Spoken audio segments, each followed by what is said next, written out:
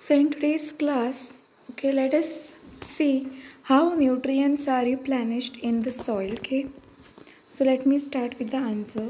Okay. So the question was how nutrients are replenished in the soil.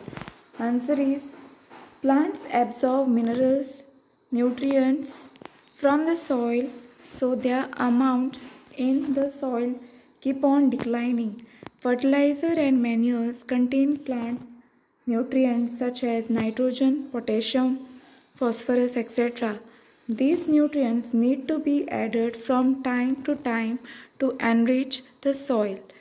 The bacterium called rhizobium present in the root of leguminous plant can take atmospheric nitrogen and convert it into a soluble form.